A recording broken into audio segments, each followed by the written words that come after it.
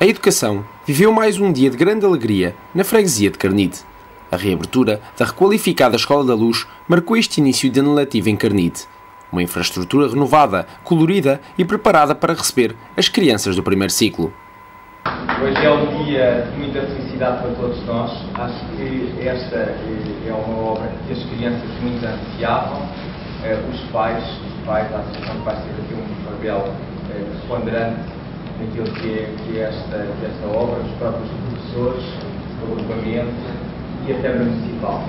Também, naturalmente, a intervenção da Junta de Freguesia foi fundamental para que esta obra viesse a ser uma realidade.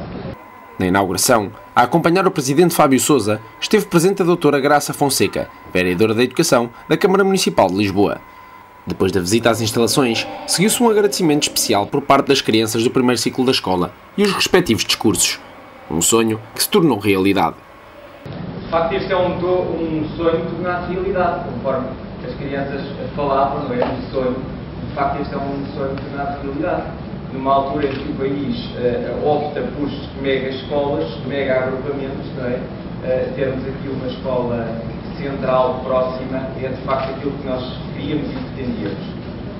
A Escola da Luz já funciona a todo o gás e os meninos e meninas de Carnide têm agora um excelente espaço para continuar a estudar e a crescer num ambiente saudável.